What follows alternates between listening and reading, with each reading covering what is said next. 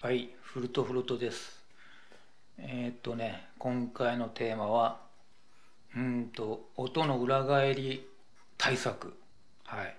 前回っていうか、まあ結構前なんですけど、音が裏返ってしまうっていう動画を上げて、まあ今苦労してますよっていうことだったんですけど、それがね、うん、アンブシュアを改善したら、音の裏返りがなくなったんですよ。というわけでねアンブシュアがちゃんとできてなかったからっ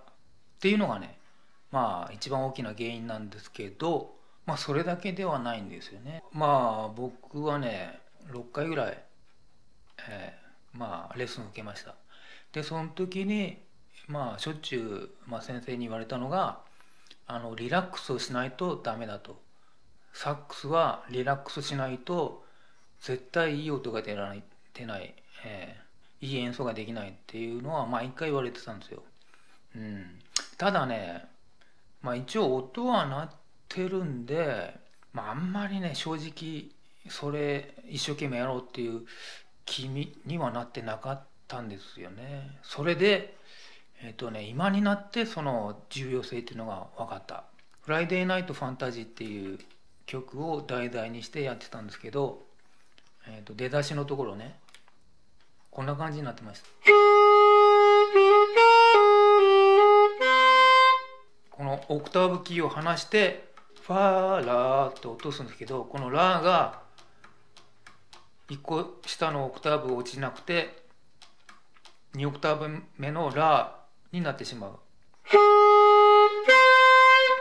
で今はね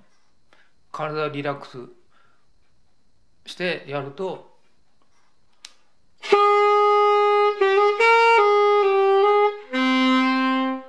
ラーはちゃんと出るようになった。ただレスポンスは良くないですね。まだまだ。すぐスパッと来ないところがねまだいまいちなんですけど一応あのアンプシュアとリラックスをやることによってあの音の裏返りはなくななくなりました。体に力が入ってるとこの低音を出そうというふうな意識で喉の奥を開いてもね開いてるつもりでも実際開いてないんだと思いますよ。だからこうぐたーっとこうやることによって喉の奥が開いていくんだと思うんですよ。ええ。というわけでねリラックスすることによって楽譜通りのピッチに対応できるということだと思うんですよ。うん。まあどういうことは高いパートだけやってると時には多少多少力んでもいいのかなと、